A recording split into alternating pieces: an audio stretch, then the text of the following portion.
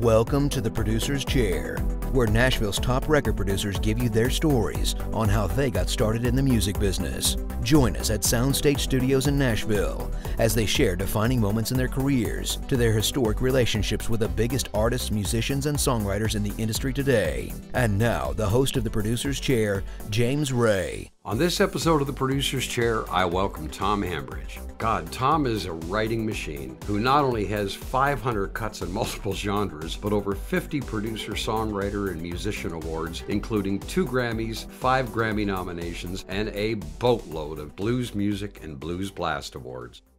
Good to see you. Good to see you. Good to see everybody. Thanks. For, I know. You know, you, you're like Dick Clark. You never age. you know that? Yeah, well, I'm old.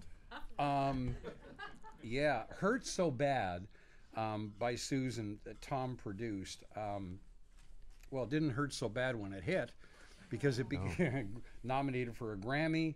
Um, that was 18 years ago. And that album um, that it was on, Just Won't Burn, absolutely exploded when that album came out. Um, it was, um, interestingly enough, um, Tom, before he came to Nashville, had already won quite a number of um, um, awards from the Boston Music Awards. And that was around the time that you did that album as well, bef- just before you came to Nashville, right? Right. Yeah.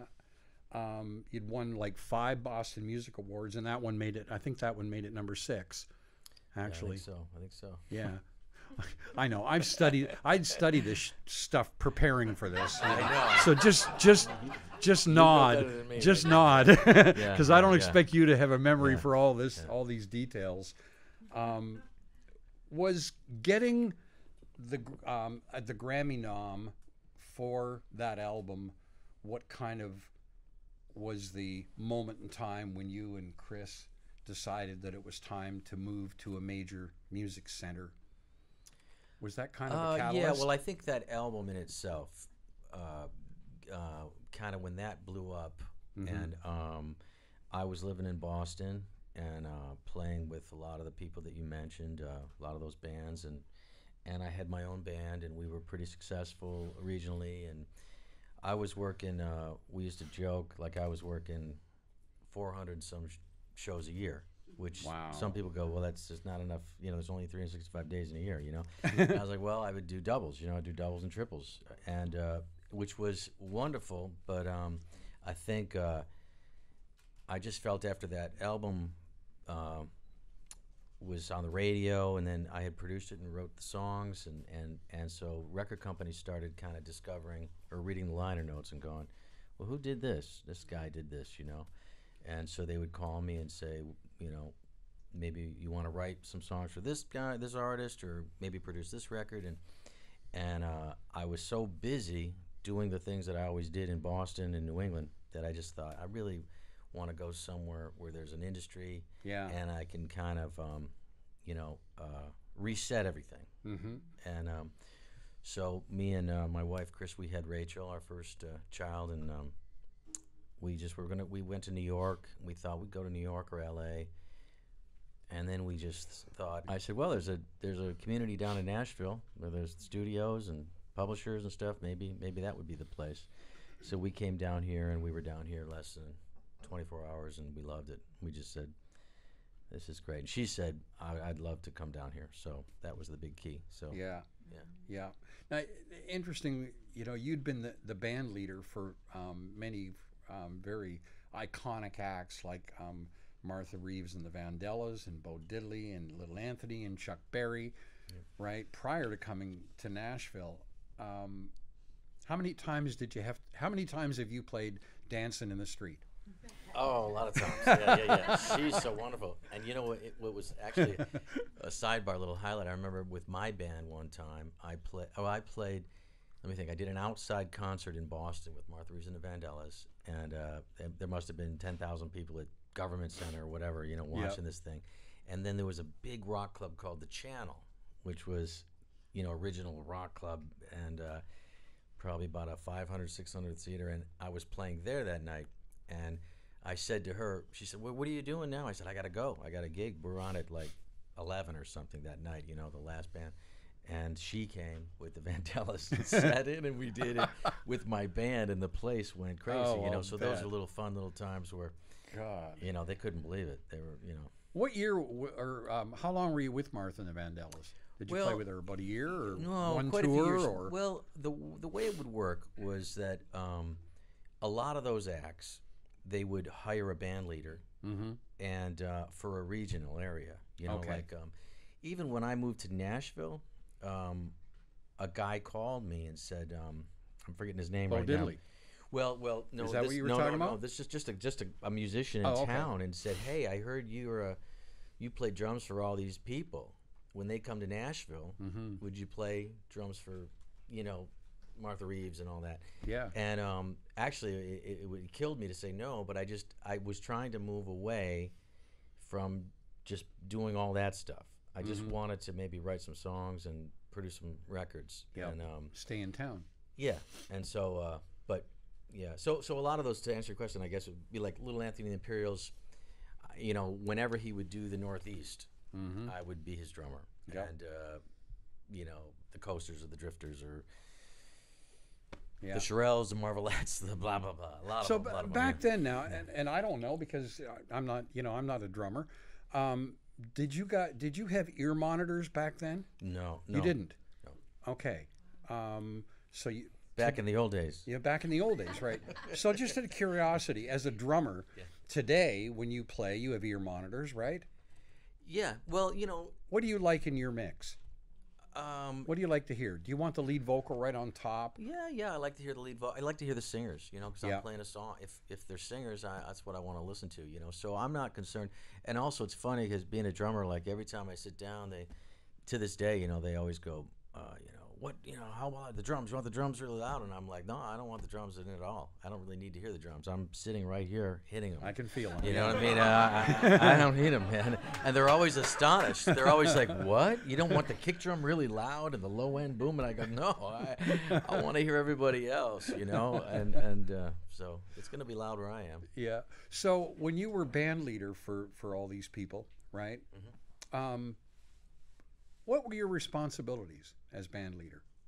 Well, a lot of times I would hire the musicians, you know. Um, Mhm. So uh, if it was Chuck Berry, you know, I was hiring the piano player and the bass player, and and um, and also running down like with Chuck Berry.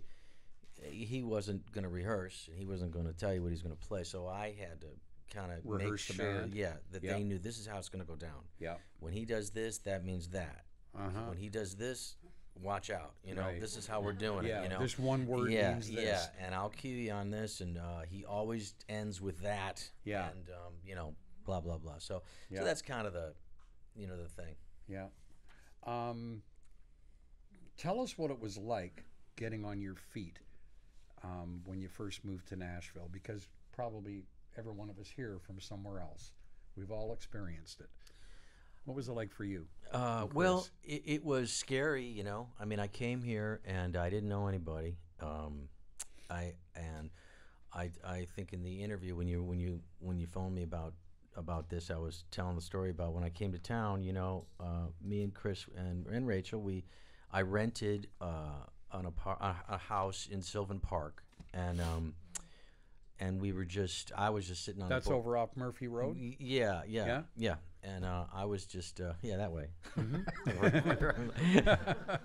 and uh, I I was just kind of sitting on the porch going, okay, well, I, I was playing 450 shows a year and making every record and playing on everything, and here I am sitting on my porch. Wow, what are these things? Fireflies, you know? Yeah. Just kind of going, wow. You know, we I remember we were going, wow, look at them all, and I, and and I was just thinking, what am I going to do? You know, and uh, just so happened that uh, um, I, I also played with Shana Na, this band Shana Na, and uh, all these bands are before your time, a lot of you, but but uh, yeah, and they were great. And Jocko, one of the original guys, he was. Um, he called me and he's like, "Man, what's you know what's this number I'm calling you on? We, we need we need you out in Las Vegas to do this show." And I said, "Oh man," I said, "I'm I'm I'm in Nashville, and uh, I you know I'm I'm kind of just not gonna take any more gigs, you know, for a while." And he's like, "What are you doing in Nashville?" And I told him, I said, "I moved down here and we're just, you know." He goes, "Okay, you got a pencil? Call this guy. His name is Chip Young." He goes, call this guy, and I go, well, what does he do? He goes, well, I don't know what he does right now, but but just call him, and he's he's a good guy to know. And so I called him, and he was in the publishing department at MCA Records. And when I called him, I just said, uh, you know, this is crazy, but this guy Jocko from Sha Na Na, he goes, Jocko, how's Jocko? You know, and I go, he told me to call you. I just moved to town. I know. I- I- Bada bing. you yeah, know? and and it- and uh, he goes, well, okay, well, let's do a two o'clock on Wednesday or something. And I'm like, what do you mean at two o'clock on Wednesday? He goes, you know, we'll we'll have a meeting. And I was like, okay, what are- what are we talking about? You know? And and he goes, uh, songs, man, bring some songs. And I said, oh, okay. And uh, so I just I kind of just showed. And the thing that was cool was that I did. I had a friend named Angelo that we didn't really know each other, but he was from Boston. He's a very very successful songwriter, but I didn't really know him. We were kind of in different camps, and um, he called me and said, "Hey, welcome to town." And I said, uh, I, he said, "What are you doing?" I said, I, "I nothing really." I said, "But I do have a meeting with this guy, and and he." And he wants me to bring songs. What does that mean? And he goes, he goes, well, he goes. Well, put it this way: bring some songs, but you're probably not going to listen to many. He'll probably listen to like 30 seconds or something and move on. So be prepared for him to Go you know, through 'em just go quick. through. And I said, "Oh, Yeah. gotcha, cool." So all I did was brought down my first solo album. So he didn't care for your catalog. No, I'm This guy, yeah, yeah, yeah. well, I showed up at the meeting and, and, and he goes, What do you got? And I go, Well, I got this. And he goes, Okay. And he put it on and he turned his back to me because it was like a control room kind of thing. He's listening through the speakers and and the record was like 51 minutes long. He didn't, the only thing he did was he turned around like after the first song and he said, These are all your songs? And I said, Yeah. And he just listened to all the And songs. that was it. You had that was it. that was it. And I just album. thought, wow, this is not what Angelo said. Yeah. This is crazy. and uh, and then he turned around and he said, okay, how's 35 sound? And I was like, 35. Uh, that's a cool number. You know what I mean? Like I had no idea what he was talking about. you know? 35 what? Yeah, yeah, and, and Yeah. he and he goes and he goes, okay, how about forty? And I go, I, I, I, you know, literally, I was like, I don't know what you're talking about at all. And he goes, for a publishing deal, forty thousand dollars. And I was like, what? And he goes, eh, you know, and he goes, eh, you know, and I and I told him, I said, you know, I'm not, uh, you know, I'm not. I, I don't know. I don't know if that's good, bad. I don't know what's going on here, you know. And I, I was honest with him, you know. And and he he said, uh, um, so he was really cool, and, and he goes, you know what?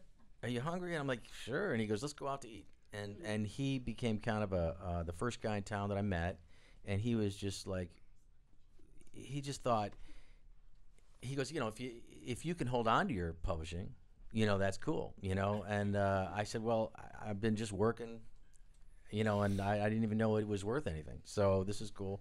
So uh, that's how it started. That was my first meeting in Nashville, and um, Wow. and and and I didn't take the deal, you know. You So, didn't. No, I didn't take the deal.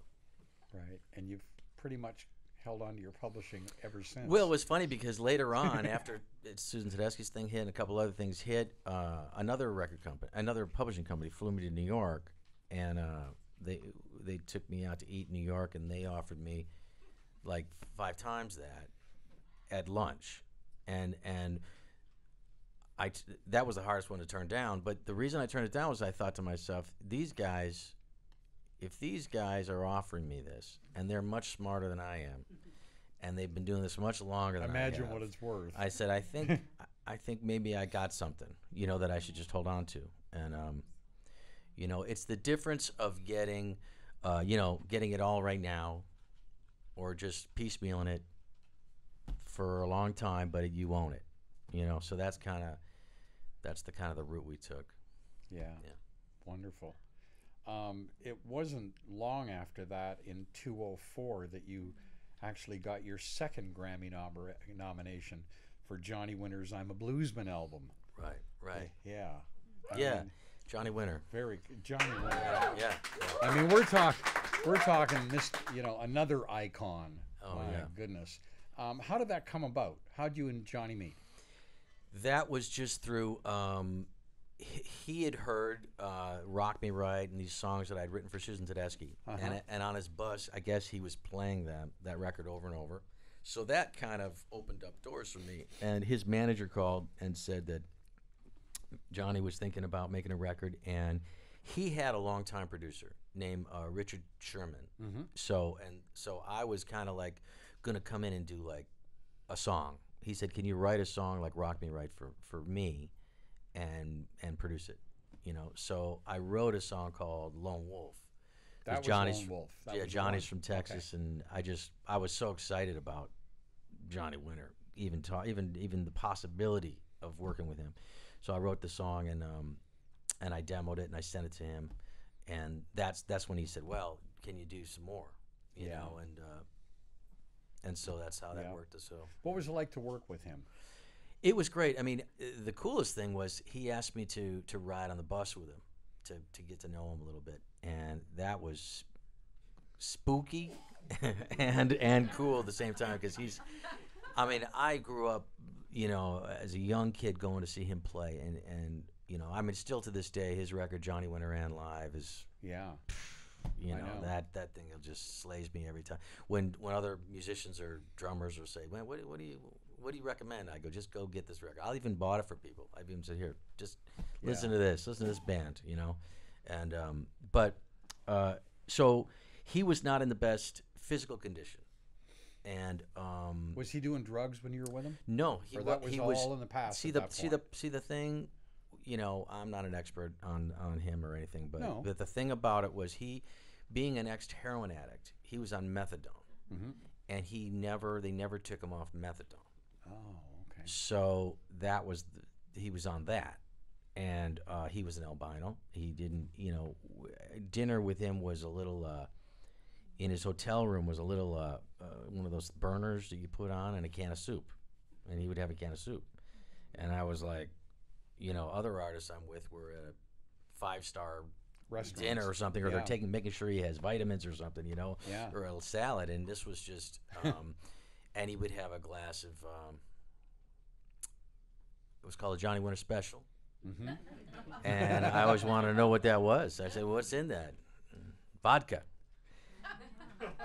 That's it. That's it. That's it. That's it. Looks like water, but it's vodka. And uh, so, at the time, they were trying to get him healthy, you know, uh, and and a- actually before he died, um, I heard that he got he got you know off methadone and he was doing really well, and um, you know, Yeah, he actually. Um, I, I I wanted to do a little, you know, reading just to find out what I could, and and according to what I found online to, um, yesterday, um, he actually died of a combination of um, emphysema and um, what was the other thing, and and uh, pneumonia.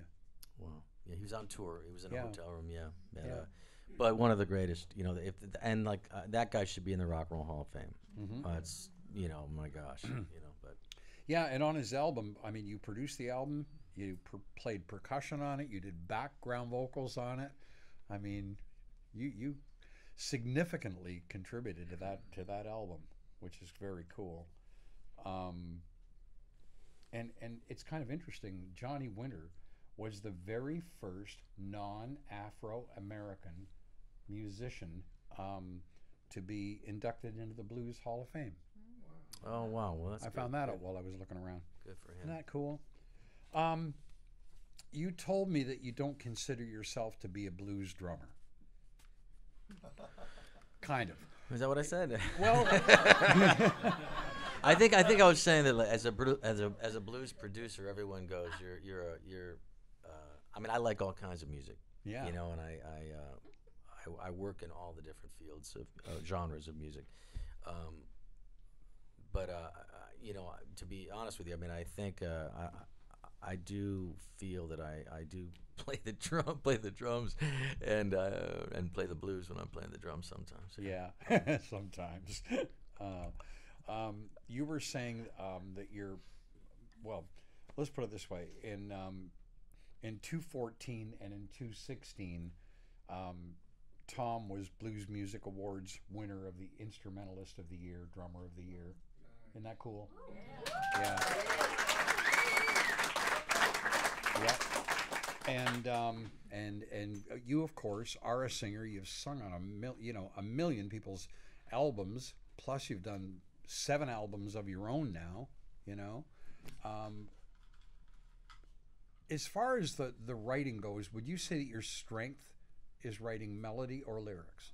Just a curious, do you have any feel for that? Uh, you know, well, I think uh, on different days, different. You know. Okay. Sometimes, sometimes it's, it's One and uh, then the other. The, the words, and sometimes it's uh, Yeah, it's a melody. You know. yeah. Well, I love the melody in that song. Thanks. Um, and and of course, as I mentioned earlier, Tom and his daughter Rachel are going to sing for you tonight. Isn't that cool? Yeah, yeah. So you've done um, seven albums of your own now, and um, I'm I'm curious. When did the Rattlesnakes surface? Was that on um, on the Black Rose album in 207? Because I was trying Uh, to figure you know, that I out. think so. I think I should know this. Uh, uh, yeah, that was just they were the, the records were always uh, just Tom Hambridge, right. you know, and I would go out with a band, and I would perform on all kinds of places, and and uh, I'd go do tours with a band, and it was these guys, and so uh, we were getting ready to do a live album. Mm-hmm. And um, on that tour, I said we should have a name for the band, you know, and uh, so so we came up with the Rattlesnakes. And I was going to ask you where the name came from. Did someone in the band or you have an Uh, you know, experience with a I, rattlesnake? I, no, I, I don't No? know. I think it was probably like it one out of the best names on the drive to the gig or something. yeah? You know? Yeah, yeah. And and uh, really, I mean, I, I don't. No, it's okay. And who are the rattlesnakes? Who are the guys? Well, now now there's a bunch of rattlesnakes. So so at that at that time it was uh, it was Brian Love, a great guitar player, Brian Love. Um, Originally. Yeah, Sal Baglio, uh, a wonderful guitar player, um, and Tommy McDonald on bass, and uh, we had a drummer named Kevin Rapillo because I would go out front and sing, then I'd come back and play drums, and uh, another guitar player named Jimmy Scopa who would do a lot of the dates too. So, but there's been a lot of different rattlesnakes Yeah. coming in and out. Yeah. But yeah. Um, okay, so let's move on because we got a lot to cover here. In 209, um, you got your third Grammy nomination for Buddy Guy's Skin Deep album. And um, um, it also won uh, Best Contemporary Blues Album um, at the Blues Music Awards. And uh, Eric Clapton was featured on that album, right? Yeah, yeah. Tell us the uh, tell us the whole story about how Eric Clapton wound up on that album and you were recording him and Yeah, well, it. you know, yeah, there, there's a lot. of? Well, just being around Buddy Guy, um, you know, everybody wants to be around Buddy Guy, including famous, you know, Other legendary icons. Yeah, Yeah. they they they just so. So I have been in many situations that are, you know, crazy, and I'll I'll I'll tell my wife. I'm like, I'm like I remember being at the you know, at the White House thing at one point in the the hotel lobby bar with Buddy, and Robert Plant goes, "Hey man, can can we butt in? You know, like and can you introduce us to Buddy? You know?" and it's uh, Jimmy Page, and it's Robert Plant, and it's uh, and so so it's and I'm like looking at them like. Oh my gosh! You know, like uh, I'm thinking of the album cover. You know, Led Zeppelin. I'm looking at the guy going, "Wow." so, so a lot of stuff happens like that. Or Buddy will say to me while we're recording, um, and those guys are great. They love they love Buddy, so they just they just didn't want to interrupt him. you know what I mean? That's what they were. You know, but but. Uh, but a lot of times, um, Buddy will just say to me, "I'll be I'll be recording a record, and he'll say, uh, "Who do you think should play on this?" And I'll go, "Well, you know, you know, uh, I don't know." And he'll go, "Call Eric," and I'll go, "I don't have Eric's number."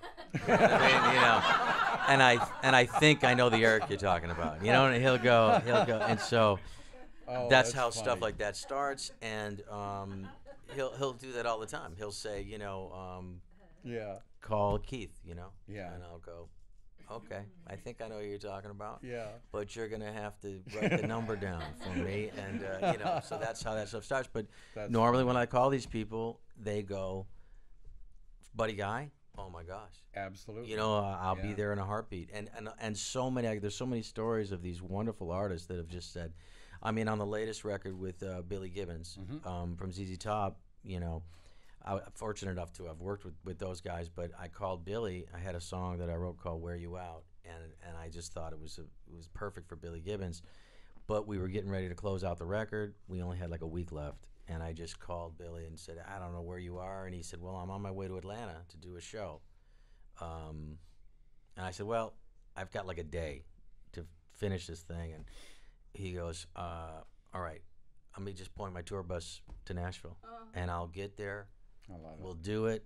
It's for Buddy. I want to be there, and uh, and then I'll make it late to the thing. He had his own bus, you know, and but that's the kind of stuff that you know a lot of guys do, and and there's many stories of that. So Yeah. so hearing Eric play and sing on one of my songs or any of these folks, Van Morrison or whatever, you know, you're like, Yeah, really. you know, but it all comes from Buddy, really. Those those stories, Sure. because uh, Oh, I understand. you know there are records where I'll just call like Billy, I'll call Billy, but but there are but they'll do it because of the artist.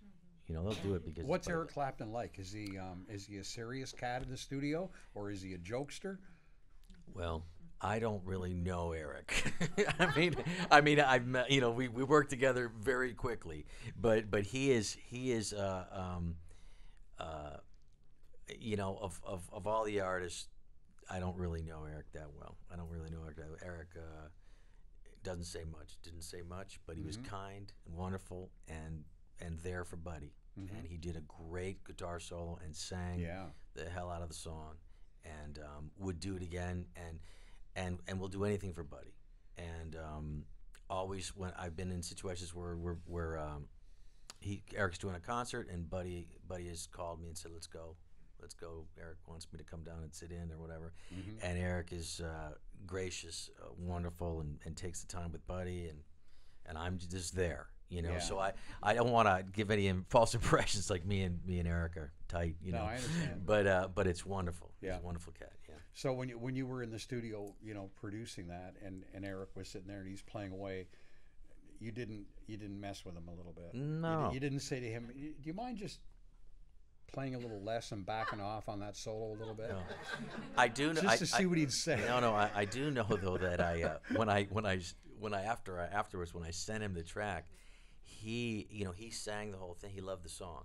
He sang the whole thing, and and uh, you know I didn't use a lot of it, you know, because Buddy, I was featuring Buddy. Mm-hmm. So um, there was a lot of stuff that my engineer was like, "We're not using this." I'm like, "No, we're not using this." So the world will never hear this. And I'm like, "I know, I know, but Mhm. but it's also I'm producing the record for Buddy Guy." you Yeah. know, So um, Yeah. that's Unbelievable. Yeah. Um, how about some questions? Have we got a mic up here that we're going to put up for questions? Buddy Guy and and uh, and Chuck Berry have got to be two of the most influential people on all the music that we do or write and everything. From a writing standpoint, where are you drawn from to take that to another level? Well, I, I and I agree with what you're saying. I mean, with Chuck Berry, I, I think he is one of the one of the greatest songwriters ever, and and um, I think he doesn't get a lot of credit for inventing rock and roll or inventing Yeah. what we do, and um, uh, his lyrics. Uh, I mean, I, I, I, I I'm definitely i- very influenced by him, and I, I think, uh, uh, I mean, I, I listen to him you know his meter, his rhythm, uh, his rhyme schemes were way in, you know ahead of the game, ahead of the curve. You know, uh, you know, coffee colored Cadillac, his alliteration, everything. I don't know where this guy was coming from, and supposedly at Chess Records they said that that he would go into the studio track and then you know play the song and and they would say would you have lyrics for it he goes yeah i'm going to write them now and he would write Nadine and O'Carroll and Johnny B. Goode and roll over Beethoven.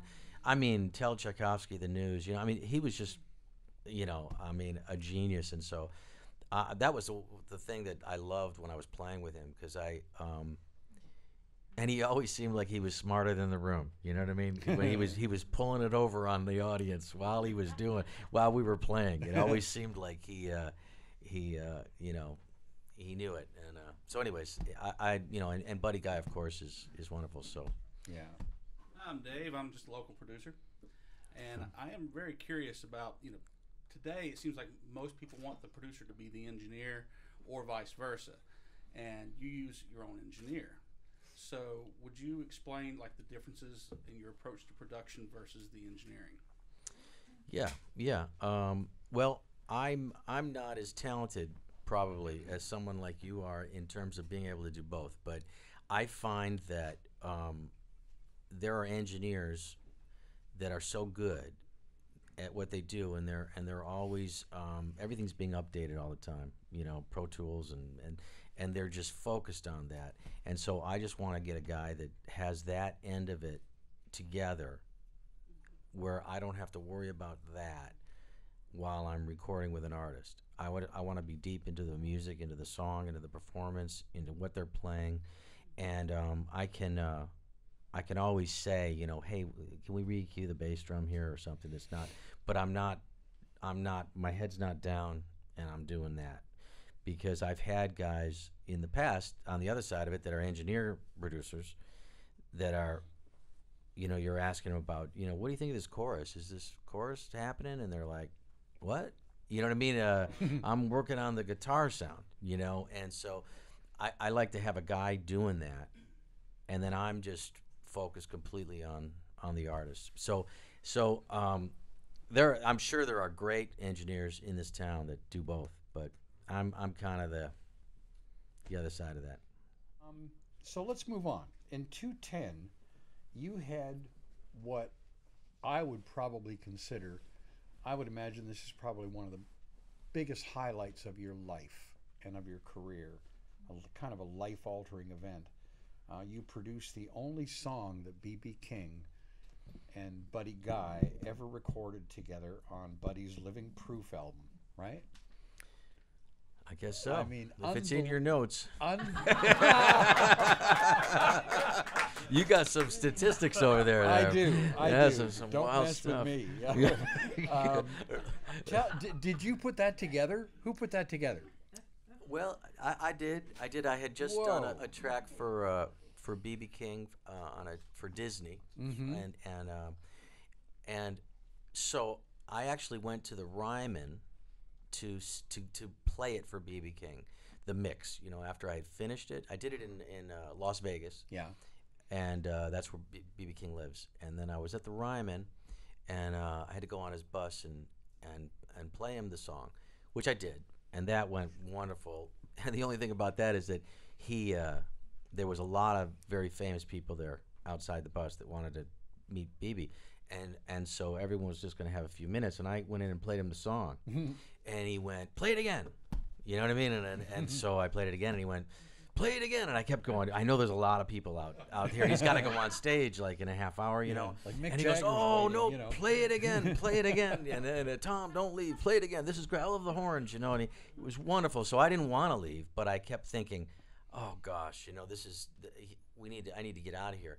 And uh, so when i did later on we, i remember standing on the side of the stage watching the show and um, and I think it was Kenny Wayne Shepherd said to me, he goes, "Man, man, uh, it's great. It's great to see him, huh?" He goes, "Man, your song sounds great. He played it for me twice while I was on the bus." Oh, jeez. and, and I, you know, so I I, think he, he just got into a thing where he was just playing it to everybody, Oh, and uh, so they uh, hopefully they got in there whatever they wanted to ask him, you know. Oh. But but he said during the show, um, he said uh, he was playing and he goes, uh, you know, uh, it's so great to be here. He just he was just ad libbing, you know, yeah.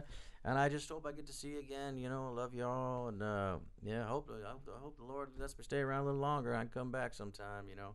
And it was one of those things where I just wrote down, stay around a little longer. I hope I can stay a little longer, you know. And and, and I got together with Gary Nicholson, I know. great writer, great blues writer too, you know. So uh, I got together with him and I said, I, "There's this, you know." And of course, Gary goes, "I had like six different notes from the concert. He was at the concert, Oh, you know." so like- he had notes. so he was already Yeah. there, and then we wrote it, and I, and and the idea, I, I but I had to throw it to both camps, Buddy and BB, as if they were singing it together, and they did, and they did a wonderful video. They and they and and actually now it's really near and dear to Buddy's heart because of the passing of BB, Yeah. and I got them to, kind of talk about each other. And BB does say during at the end of the song, he says, "You know, buddy, you'll always be my buddy, and and I love you." And during the fade, he just said this stuff. That was so clever the way that song was written and the way that that you actually arranged the duo between the two of them, the way they traded the lyric.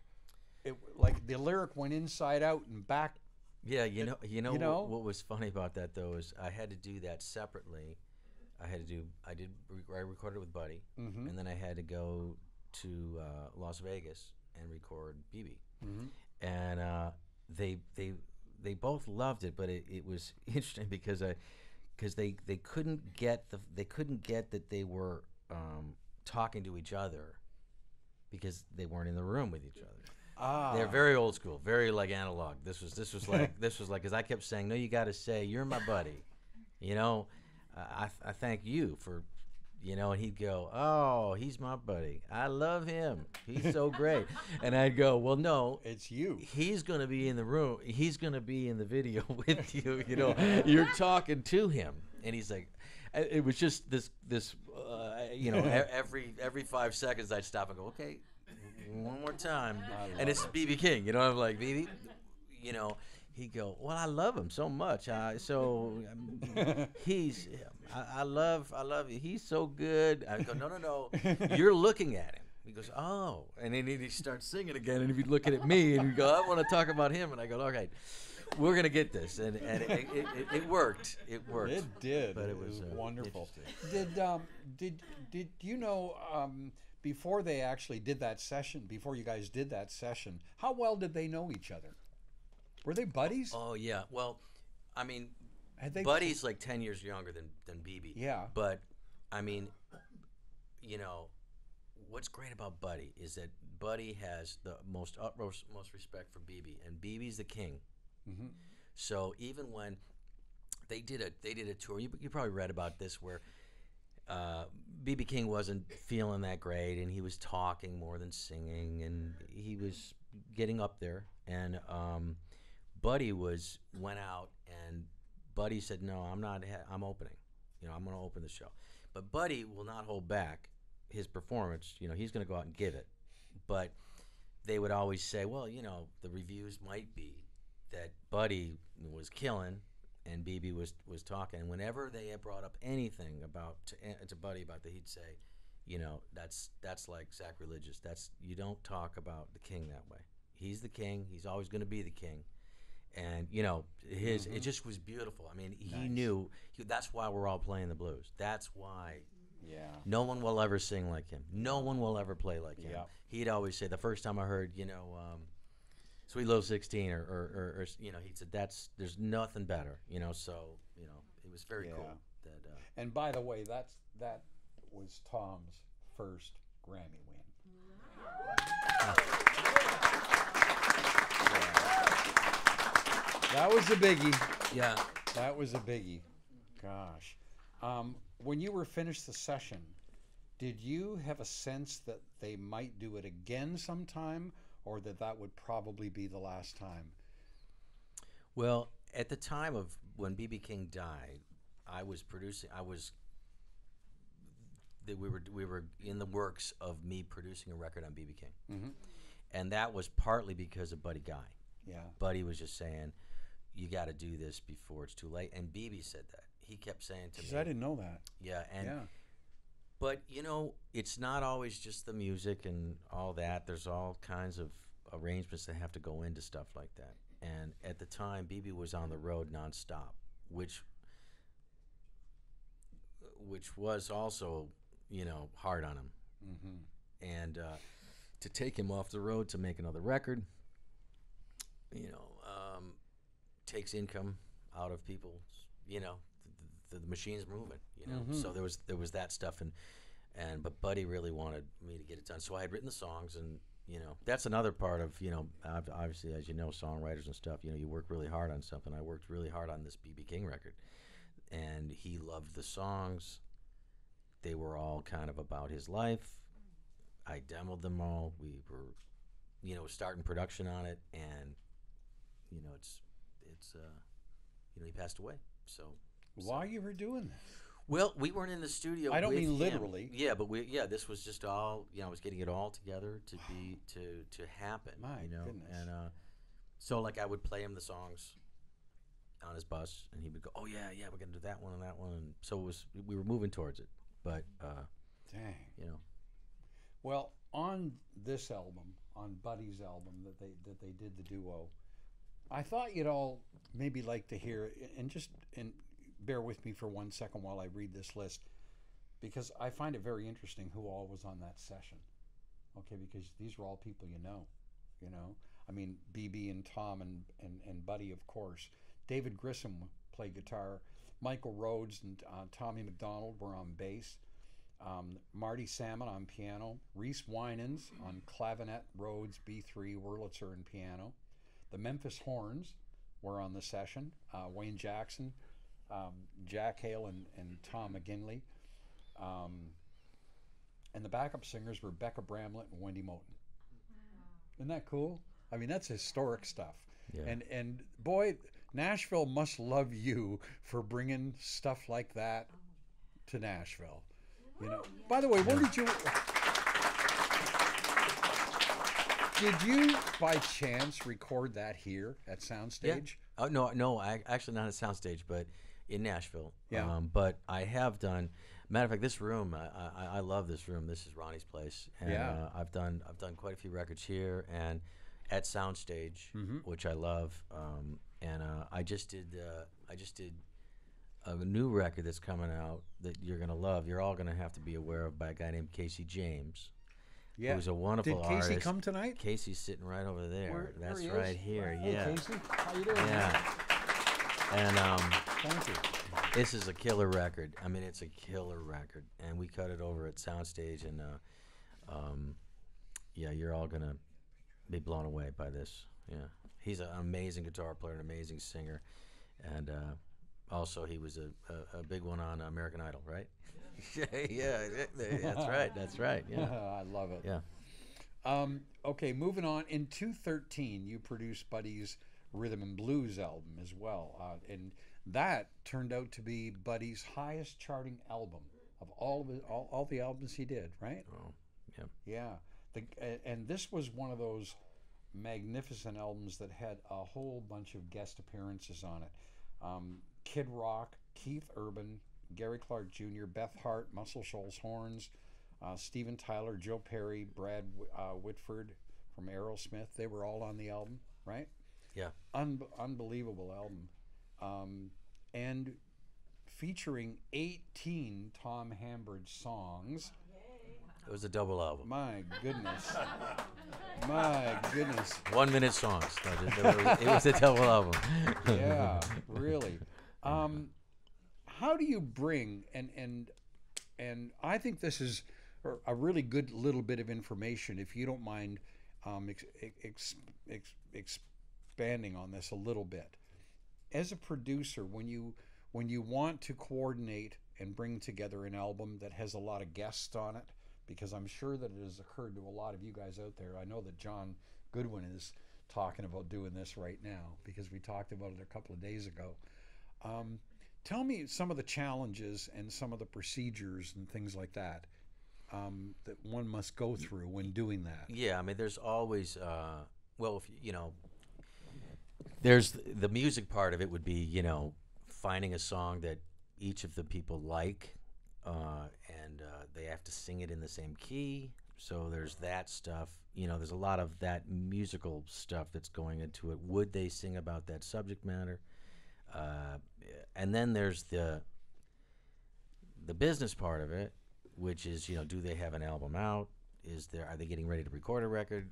Is this gonna if they're on this record, is it detrimental to their career? Or is it is it does the management, uh, the record company, are they cool with the other record company? Um, you know, there's there's a lot of that stuff Yeah. going on. So Political uh, stuff. Yeah, all Yeah. that stuff. So, so you have to kind of navigate those waters, and I always just kind of go and and and lean hard on the music end of it, and go okay. I mean, like for example, uh, Van Morrison was going to sing uh, a song, and I uh, that was kind of like a, you know, you know, it would be great to have Van Morrison on the song, but let's just find out how to get in touch with him. So, talking to his his people, saying he will not sing on anyone's record. Okay, okay, and and I'm like, okay, well, uh, it's Buddy Guy, and and are you the end? Are you the wall? Is this door locked here, or is it possible for him to say, well, you can talk to this pe- this person, maybe, but I, he's going to tell you the same thing I'm going to tell you. So you kind of go and you talk to that person. You send a little email and say, hey, I don't know if it's going to get to you, but I was told this, but and they said, well, he'll do it only if he writes the song. And you're like, okay. So there is a chance that he might do something, though. You know what I mean? So, well, who, you know, then, well, we, his personal day to day manager guy is this guy. And so you find that out and you go, all right, I heard that he will only do his own song, but we've already tracked this song. Would he listen to it? He'll listen to it, but he won't want to do it. Okay, can I send it? Sure, but I'm telling you, he's not going to like it. To literally, that's how, this is how this went.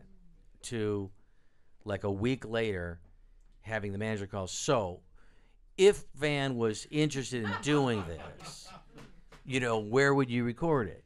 you know what I mean? And I'm like, uh, well, wherever he would want to record it. Well, he's going to be in Ireland, and he can't come. Blah blah blah. And his schedule's like this.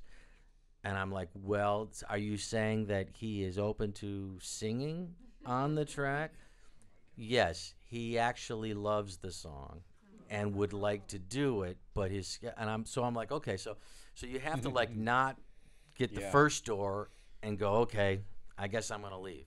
Right. You know, you got to kind of bust down that door, Yeah. go to the next door, and that's how a lot of these things work out. You know, and uh, it's not it's not Thirty so it's- phone calls later. Oh yeah, so it's never uh it's Yeah. never like, you know. Mm-hmm. I mean, it's sometimes it's easy when you're right with the artist. If I'm right with, I mean, I was at uh, I was playing. Buddy asked me to play uh, uh, Crossroads with him at Madison Square Garden with this this huge, you know, Crossroads. It's crazy. Everyone's there playing. The Allman Brothers and every the Rolling Stones are there. It's crazy, and and I'm backstage and everyone's kind of sharing dressing rooms and I had a song called One Day Away, and I thought, man, Keith Urban would be great on that this song, and and I love Keith Urban. Now, Buddy Guy doesn't know everybody in the world. I mean, he they know Buddy, you know, they, but but Yeah. he doesn't, you know. So I'm like, hey, Buddy, what do you think if if this guy Keith? I mean, he so he doesn't know Keith Urban. You know, he he doesn't now he does, but but uh, you know, it's even funny when famous people sometimes will say, and he'll go, "Who are they, Tom? Who's this guy I want to meet?" And uh, you know, and they laugh about it, you know, because they're like, "Oh, I just want to meet Buddy." And uh, but anyway, so uh, I said, "Well, I'm going to just ask him because he's here," you know. And I asked Keith, and Keith, of course, was like, "Are you kidding me?" Are you kidding me? I would love to sing a duet with Buddy Guy and play. Can I play on it? I'm like, yeah, yeah, it'd be great. So that's when that happens Yeah. you're already kind of around all the other people that are blocking you, you Mm-hmm. Yeah. know, and uh, so Wonderful, wonderful. Um, I mentioned that um, um, that you wrote "Stay Around a Little Longer" with Gary Nicholson. We- Um, just to talk about some of your other co-writers that you work with, um, Jeffrey Steele, right? yeah, You and yeah. Jeffrey have done a lot of writing together, yeah. haven't you? Oh man, Yeah. Um, how did you and Jeffrey meet initially? How did you guys get going together? You know, that was a weird one. I think um, I was I was very new in town, and I was doing a record with this engineer named Scott Baggett, this great engineer, and um, I actually said to him, I don't even know how I got his name, but I didn't know anybody. So I somebody told me, if you need an engineer, and this was this was this record I was doing from somebody else, and I just said, well, I'm in Nashville now. Come down to Nashville, and I'll do the record there. And I said, okay, so now I got to find musicians and engineers and a studio.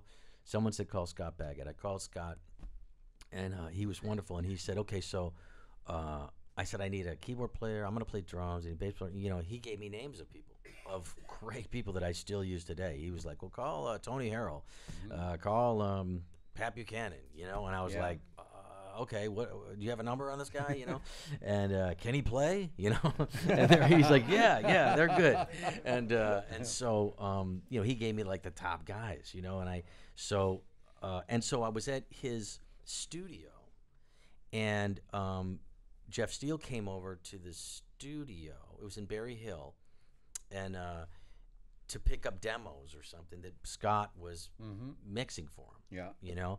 And uh, Jeff was walked in and was just kind of like, "Hey, uh, I don't want to interrupt, you know, whatever." And, and Scott goes, "You guys should know each other."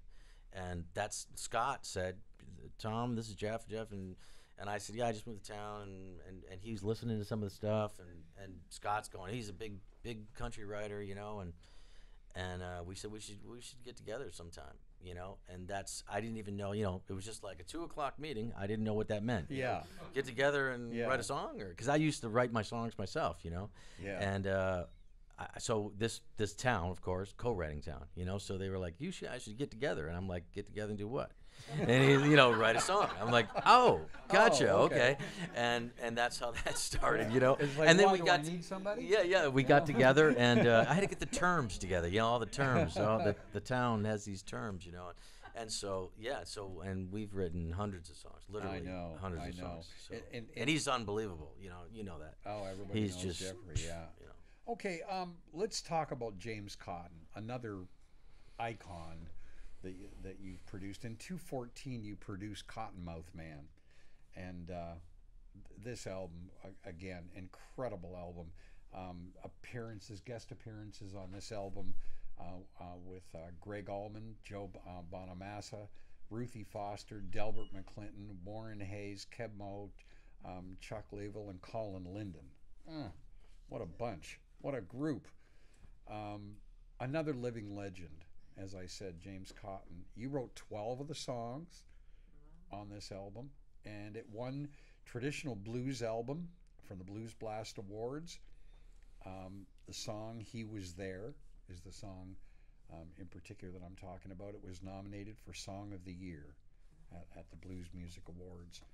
Um, it's kind of a story, I guess you could say, of James Cotton's life, Yeah, in a way, isn't it? the whole the whole album is. I mean, the whole re- album It is. really, The- it really this is. song yeah. in particular, you know, Yeah. certainly speaks to that, and um, it's just a it's just a wonderful song. Well, that's actually he's not singing. He's not singing that. That's why it's a that's uh, Darrell Nulisch was singing on that one. That's why I had all these guests on that album. Was that James Oh. Cotton actually wonderful, like one of the greatest, you know, blues singers, lost his voice. I mean, he's got um, he's just got uh, something that tore up his vocal cords, and he can't sing. I anymore. didn't know that. Yeah, yeah. I thought that was him singing. No, no, that's actually uh, Darrell Nulisch, and, and that's why Gregg Allman and and uh, Del- Delbert Clinton. I, I I was heavy on just getting singers to come in, and that's Mm-hmm. another situation where you know he's him and Buddy Guy are the, the two last guys Yeah. standing. You know, Yeah. and uh, when I you know that was a situation where I just approached people I knew, and said. Uh, in the middle of their careers, I just said, "Hey, you know, would you be interested in doing this?" And they all wanted to do it because of James Cotton. You know, it was James Cotton. So, Yeah. so we wrote songs about his life. He came up. Uh, matter of fact, in this building, I wrote the whole album, all twelve songs in this building. Uh, Really? I had an office over there.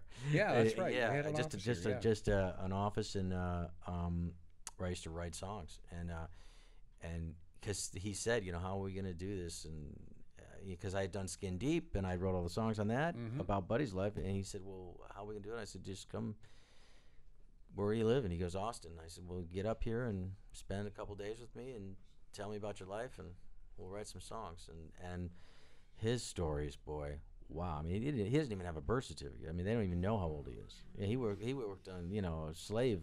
Uh, you know, uh, yeah, yeah, he, plantation. Yeah, Th- there's a song on there called Bonnie Blue. That's the only song he sang on it. And that's when I got Colin Linden on. Is is is because you know he's embarrassed now because he can't, he, you know, you know, he can't sing anymore. And I said, well, he, he, you know, he was telling me about being raised on this plantation, cotton plantation. So they didn't have, they didn't know how old he was. You know, they didn't have a birth certificate. And it was called. I said, what was the name of it? He was like, Bonnie Blue. I said, what is it? He goes, Bonnie Blue. I said, Bonnie Blue. He goes, yeah. He just remembers it was the Bonnie Blue plantation. So I wrote this song at the end of the record about it. You know, with him. You know, he was just feeding me whatever it was about. And uh, and I said, so now you're gonna have to sing it. And he was like, no, I can't. And and I said, the only way you can tell it, this story, is to have you sing it. We can leave it off the record, but.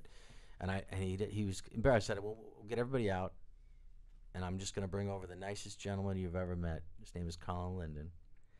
and everything will be cool. It would just be me, him, and you in the room, and he sang it, and it.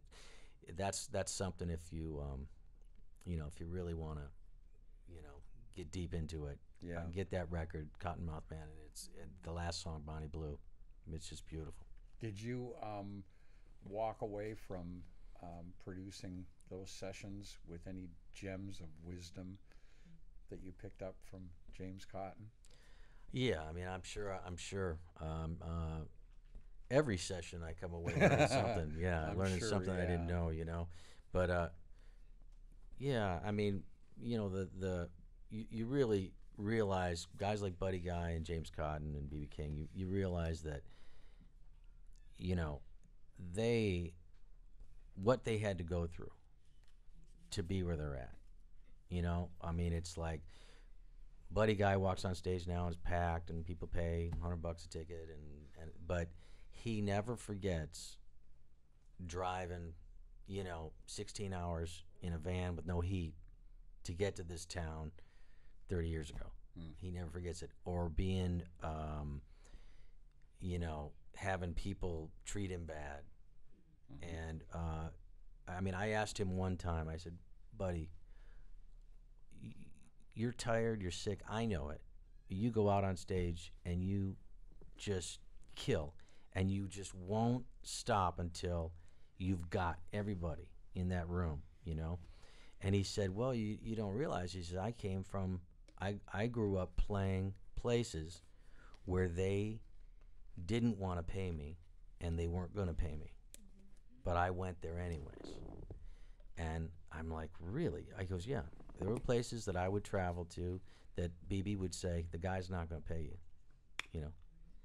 And he goes, so I just decided I can either not go or I can go and play so great that I'm going to make that man want to pay me. Mm-hmm. Wow. Yeah.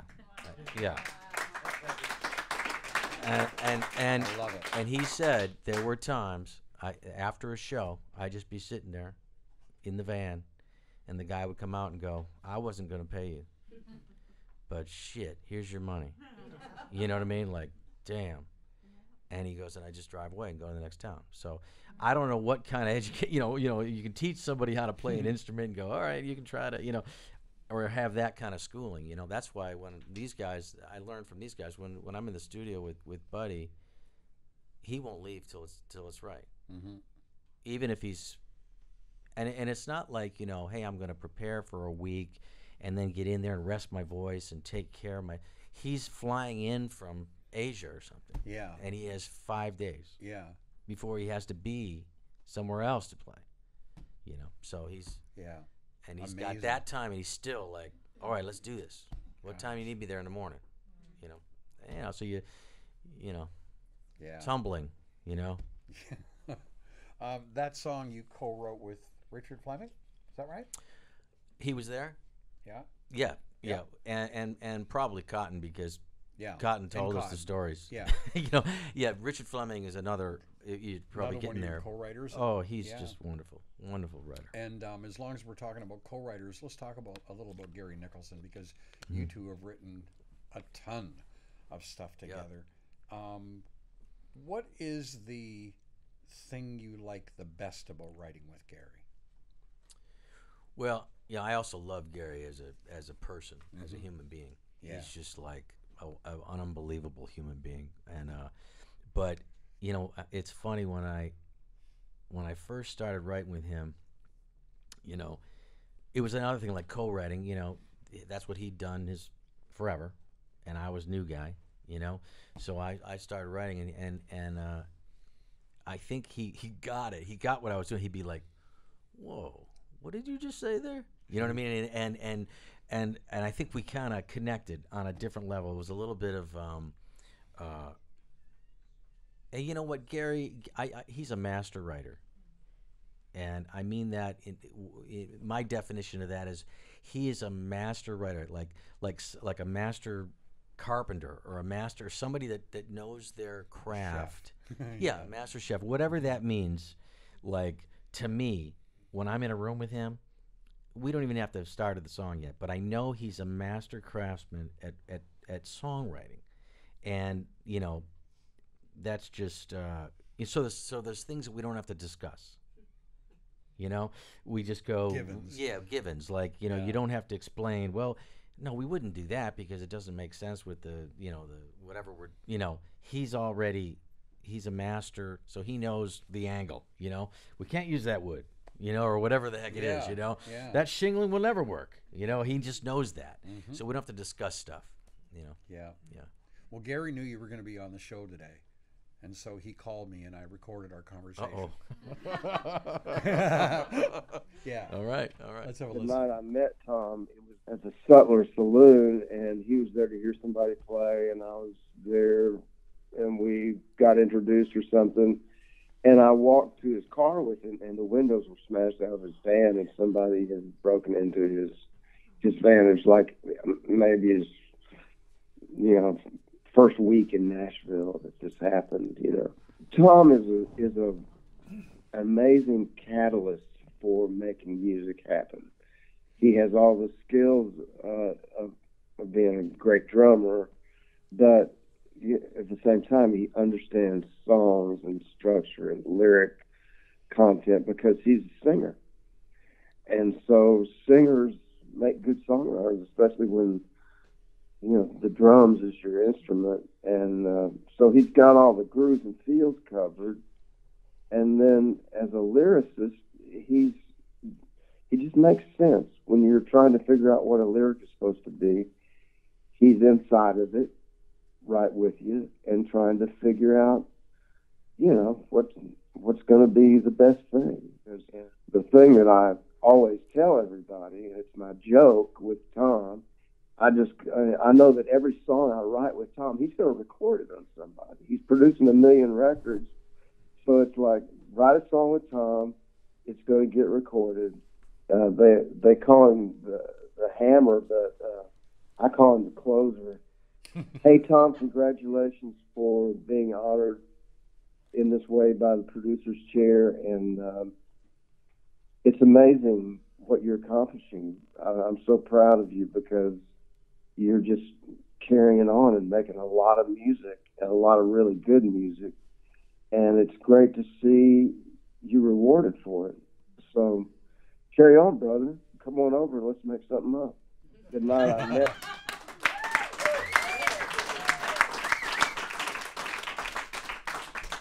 Oh, what a guy, man. Yeah. That, that's I forgot about that. Yeah, that when I first met him, he he, he walked me to my car. He, he was like, "Where where where you parked?" And I'm like, "Oh, I'm parked right over here." And he goes, "Oh man, I'll walk you over to the car."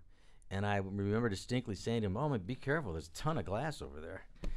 and he's like, and I'm like, "Oh shoot, man, from my car."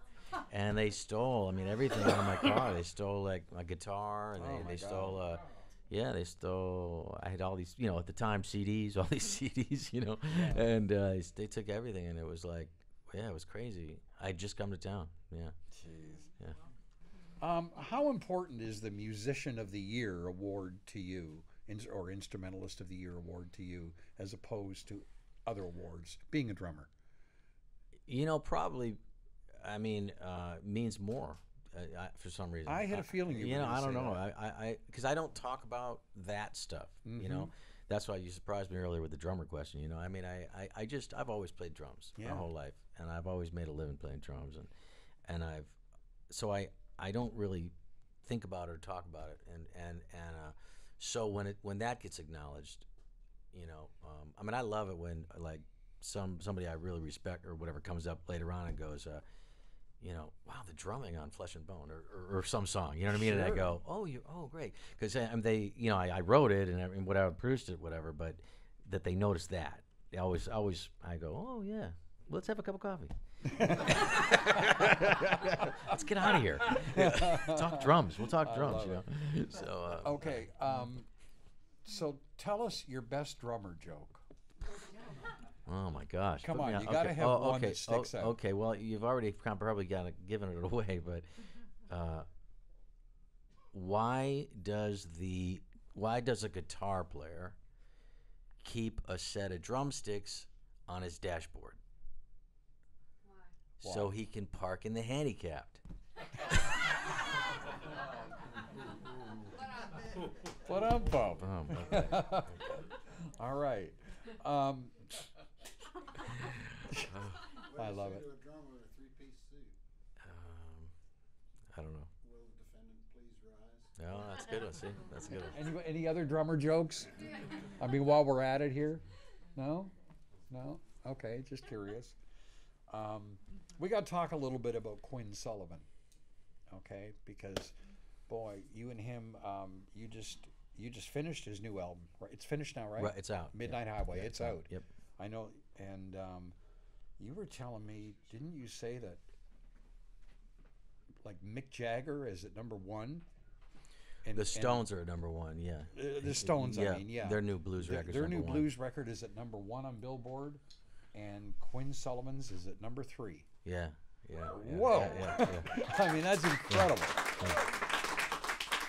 yeah. he, he's doing really well. and- Jeez, he must be ecstatic. Yeah. And you guys just got back from India. Yes. We were playing over in India at a at a um, blues festival with Buddy. Tell Uh, us about actually, that. it wasn't with Buddy, uh, Oh. but it was actually just with Quinn Sullivan. Uh, Oh, uh, okay, Well, I- Billy Gibbons was there, and and, All right. Mm-hmm. and Shemekia Copeland, some great great acts. But but um, but Quinn, we were over there doing the Quinn Sullivan show. Yeah, in Mum- Mm. okay. Mumbai. Mumbai. Yeah, Yeah. Wow. And that's a big festival every year. yeah, it's huge. It's uh, um, there's a lot of people in India, and uh, yeah, and and I did it a few years ago with Buddy Guy, but but um, this time it's just Quinn, and um, you know they even have like their own Rolling Stone magazine. Like Rolling Stone magazine is in India. You know, you never think about that, like the Rolling Stones here, and uh, and so there was a big you know big thing about Quinn and his record, and it's because it's because the Indian one, of course, is in a different language. You know, so it's uh. Um, it's very cool. So to, to see that, you know, to see that all the people that are, Yeah. into, you know, Um, now, how old is Quinn now? He's 17. 17. I figured he was 17 or 18, about there. And how old was he when you guys met? Buddy, Buddy Guy introduced the two of you, Yeah, right? Buddy Guy discovered him, and uh, I was making Skin Deep, so that was like in I don't know when that was, but you probably know. Uh, but it was a long time ago. Uh, and um, Buddy was in the studio. Buddy just said, "Hey, you, I, I got this thing. You should check out this kid. He's like seven or I don't know, eleven, Seven or eight, or Yeah, I don't know how he old was. he was, Well, yeah. actually, he was about. I think he was about 10. 10 and he said uh, Yeah. he's just amazing and uh, it would be great if you could produce a record for him and uh, so i listened to him and, and, and that was that was a, a tough one at first because uh, you know he was whatever nine or ten years old so uh, he goes can you write the songs and do what you do for me for him and uh, so that took a lot of a lot of Yeah, nights, like, late of nights with me sitting there with a guitar going, how am I going to write a song for a nine-year-old? yeah, yeah. yeah. And uh, but you know that's one of my favorite records. That's his first album. It's called Cyclone, Mm-hmm. and his voice hadn't changed yet, and um, so he probably, you know, I know he probably thinks of it as, oh my gosh, you know, I sound like a girl, you know, or something. But uh, the the tracks and the songs that we came up with, uh, and I wrote a lot with Richard Fleming on this record because I, I would have Richard come over because I'd say, okay, I need to write a song that's a, um, the, the, the, the analogy I had in my head was, let's write like an early Beatles album, where the songs are about. Uh, he can't. He can't write about how hard it is in life, a blues, you Or know. Yeah, love. you know. Yeah. But it, he can write about love, but if it's just in a in like a friendship, happy Playful. Yeah. way. Like Yeah. I want to hold your hand, or Yeah. you know, uh, you know Yeah. that kind of thing. So we wrote, and it just so happened he was a Beatles nut. So I had all these different changes, and of so it wasn't really a blues record. It was more of a, you know, it really, it was really complicated record, and he just took to it. Like he was like, "Oh, I'm all over that. I love that song," you know, because it, it made sense to him because Mm-hmm. he was such a Beatles fan, and so that you know that worked. And then now now we're able to write relationship songs and and Yeah. songs about stuff and uh, you About know life, yeah. yeah life Yeah. because he's lived longer you know so Yeah. Um, can you describe? How would you describe? Because you've known him for ten years, you know, kind of thing. How would you describe his growth as an artist? It's it's amazing I mean it, it's I know it's it sounds weird to talk about a kid that's 17 and he's out there playing and because everyone knows young young artists and young kids, but he is something But he's out there playing with Buddy Guy. yeah, yeah. He is he is different. Yeah. It's different. And um yeah. y- you know the one thing I, I I've said to a lot, even the record company, I said you, you have to see him. You can watch the YouTube stuff and you can follow that stuff, but you have to witness him on stage playing. And because he really, it, it, it's really deep, and he's really feeling, uh, uh, and he's am- and it's amazing what he's playing and singing at the same time. And so, and he's not, uh, you know, he's really down to earth because he because he does know Buddy, Yeah. and he does know guys like that that say, no, you don't phone it in. You never phone it in. You know, you don't skip. You know, you need to listen to Miles Davis. You need to listen to that. Mm-hmm. You need to let you know. No, take that crap off. You need to check out what Jeff Beck was doing back in. You know, so he's constantly like Yeah. listening and feeling stuff, and then uh, he'll come to sound checks and he's, you know, he's he's playing stuff that you know he's into Derek Truck, so he's he's playing all this Derek Truck stuff. He's he's picking up. He's just he's just constantly um, uh, growing. Yeah. So he's he is you know Wonderful. cool. The first time you were on the show, we talked a little bit about Quinn, and so I've kind of went back, you know, and I listened to a lot of. I mean, I I, I even went back and looked at his, you know, when he was five years old or six years old. Ellen DeGeneres had him on the show playing guitar. Yeah. He was that good when Yeah. he was a kid. Yeah, he was on Oprah when he was like four or something. Yeah. When they just searched for people that were like crazy talented at something and for no reason for it, whether it was uh, Mm-hmm. you could, you know, I don't know, I know. do arithmetic or something. He, he could play guitar, and and you could Well, ask him, I've you know. listened. I've been listening to the progression of his voice, and I know that you're the guy responsible Uh-huh. for for his voice coming. And and I mean now his voice is coming, starting to come into its own. Now you can hear, Yeah. you can hear his sound now. Yeah, Yeah. He's, he's definitely going to be so someone to be wonderful. reckoned with for sure. Um, for those of you who haven't read my column, um, I asked Tom um, how an, if there were a new blues artist in particular here in Nashville who was looking to further their career. Um, I was I was asking you how one would go about doing that, how that artist would go about doing that. And you had some really interesting things to say. And that was just you and me, you know, in that column interview that we did together. Right. But I think that's worthy of putting into the show. So could you share that with us?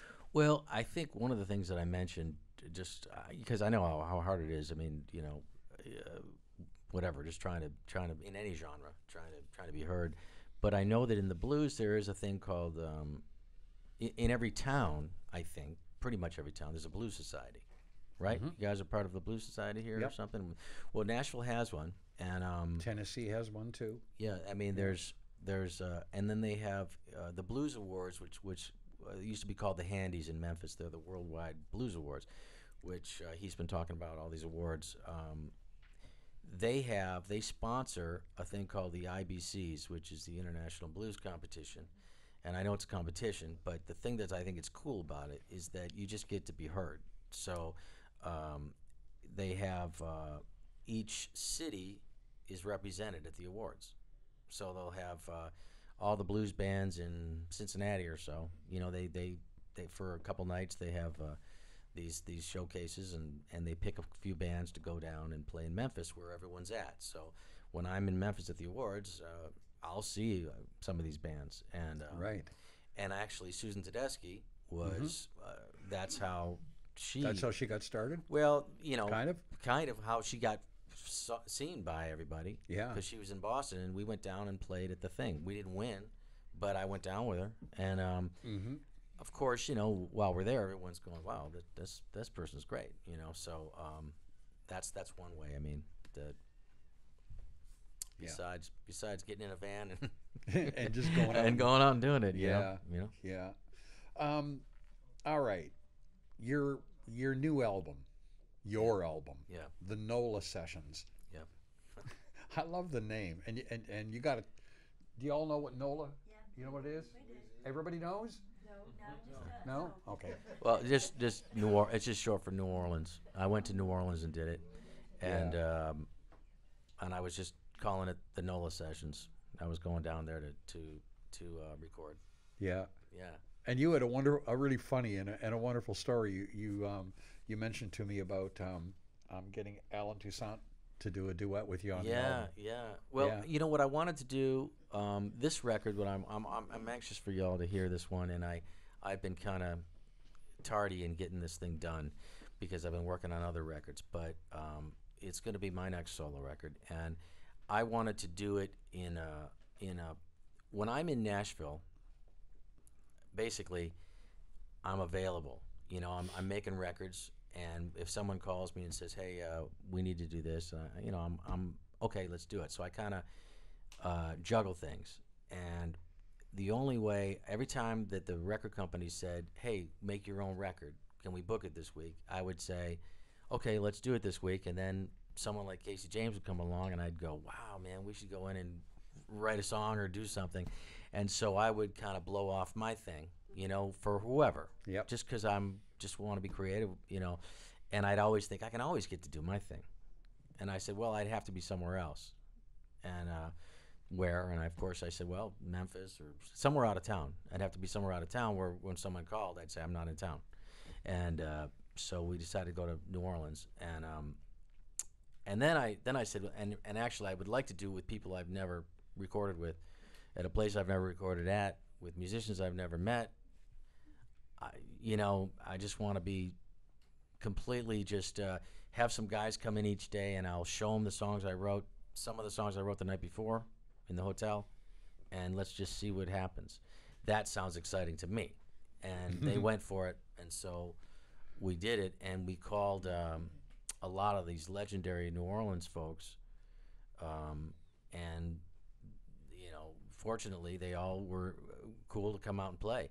And one of which on the last day was. Uh, was I just said it'd be great to have I got this song that I'd love to sing with Allen Toussaint, and but I asked the guys in that was I was working with in New Orleans, and they said, "Well, he's not going to come out. He never comes out. He won't do it."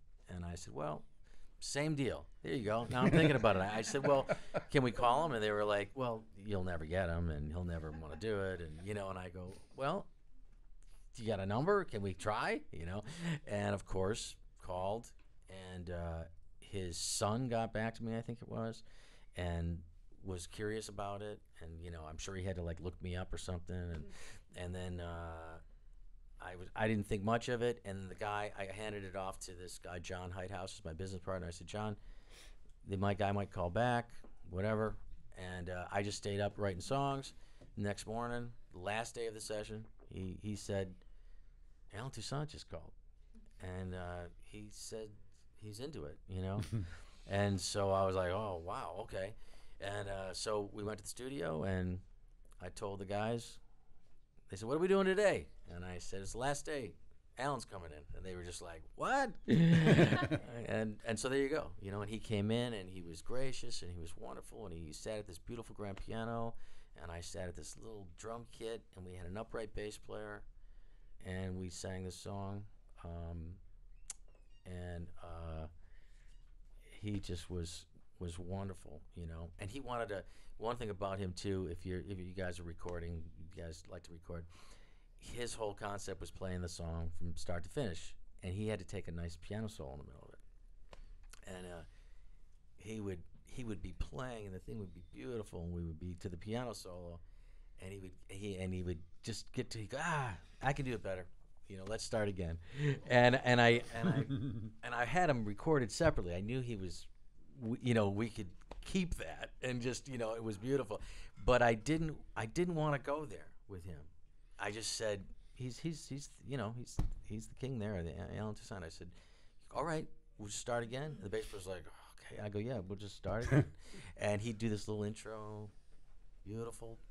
And we'd start we get to the solo and then he might get to the last verse go oh i messed up a board you know let's just start again And I'd be like, okay all right all right you know because i but i didn't want to Yeah. know, i didn't want to i guess there's an overdub process for some of you that we could have just kept that and you know he could have taken three solos. You know, Yeah. while we're done with the track. You know, but it was beautiful. So the the track you hear on the record um, is just is the one complete take of us doing it. You know, Yeah. and um, yeah, and it's and it's called the blues. Been mighty good to me, and and and when I told him about it, you know, he said, "Yeah, I'll come down. I'll come down and hear it and play it." So he did. So when's the album going to be available? It's uh, No pressure here, Tom. You know. I, you know, you know the thing that I'm, I think I'm holding up right now is the sequence or something like you know, it's like putting the songs in order or something. So Yeah. I just need to. Um, I just got back into town last night, and I've been this out. summer. I'm gonna I'm gonna focus and get get this out. Yeah, this summer. Yeah. All yeah. right. Yeah. The NOLA sessions. The NOLA sessions. yeah. Yeah. Yeah. Um, one last thing, uh, because we're getting on here time wise, that I that I wanted you to share with everybody, if you would, and that is, um, I asked you, in you know all the years you've been doing this, and with all of the iconic people that you've played with, and you know you've heard the list that I read at the beginning when I introduced Tom.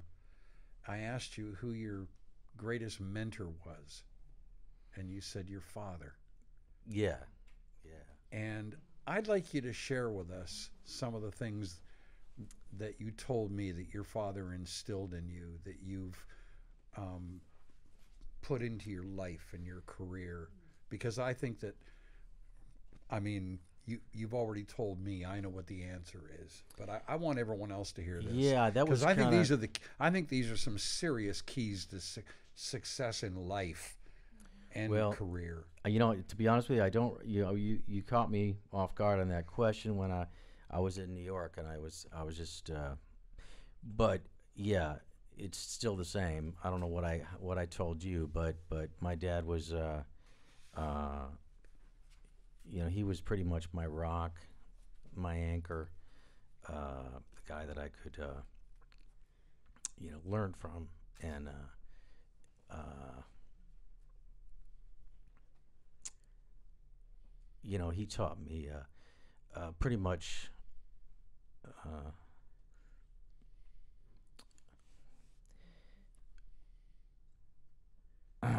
He uh, he he was my mentor, you know, and uh, he just passed away. I don't know if you know that, but he just passed away. So I know. So so it's uh, I know. not easy, but you know, uh, I- everything about being uh, being uh, you know honest and working hard and um, treating people right, mm-hmm. and uh, you know, I looked up to him, and uh, a lot of the stuff that I did in my life, you know, was pretty much, uh, you know, you know, for him, you know, and my Yep. family. So Yeah. it's all good. Thank Sorry. you. Thank you for sharing. that.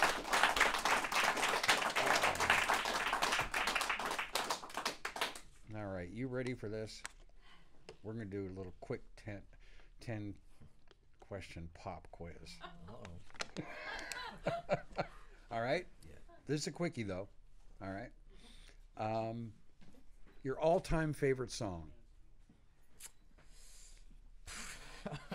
my, my all-time favorite. It depends on what day it is. What I mean, my, my all-time favorite Pick, song. pick one of them. Pick one. Uh, yeah, yeah. Yesterday. Ah, all right. Your favorite sport? Football. Your favorite book? Ah. Gosh, my favorite book. Bury My Heart at Wounded Knee. How about that? Favorite restaurant in Nashville? Well, I do like a good steak. Yeah, so every now and then I'll just, uh, if I'm driving home from Music Row and I, I go back by Ruth's Chris, sometimes I'll stop Uh-huh. in and just get a steak. All right. Your favorite bass player? Paul McCartney. Um, have you ever played with him? No, No? but I met him recently, and that was another dream come true. Yeah.